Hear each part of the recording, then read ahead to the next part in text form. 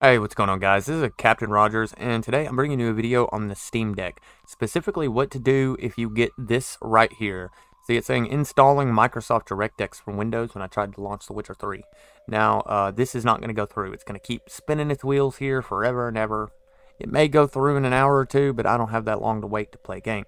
So what we're going to do is we're going to go down there and we're going to open up our application bar. We're going to open our system resources and we're going to go down to processes. And then we're going to scroll down until we find dxsetup.exe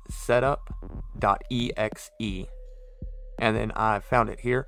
Now um sorry if this looks a little weird. This is direct capture from the Steam Deck uh, using OBS and then I have used a USB drive to put that on my computer I'm playing it back while recording this audio in OBS so anyways, what you want to do is you want to find that dxsetup.exe and you want to end the process.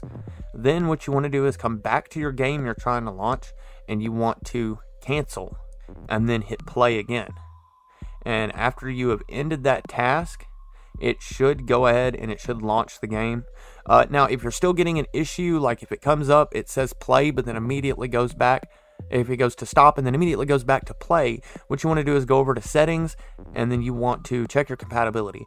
And uh, sometimes I've had games work just by going in and hitting uh, compatibility and lowering the Proton. Sometimes 7.0 works, sometimes 6.3 works. Uh, sometimes you got to go all the way down to uh, 5.0, 5.1, but usually it's not too bad.